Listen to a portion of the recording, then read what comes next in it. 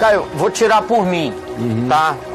Por que, que a pessoa que nunca pisou dentro de uma igreja, quando te ouve, ela te entende assim, no estalo?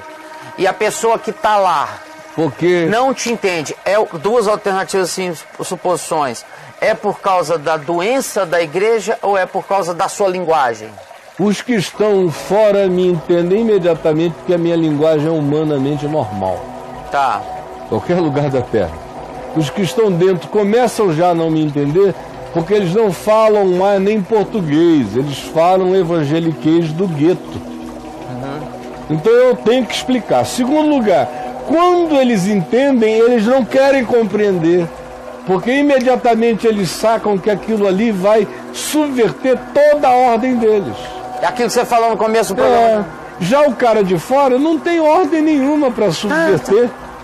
Para ele só diz: Uau, coisa linda, que bem que me faz, que sabedoria, que coisa maravilhosa.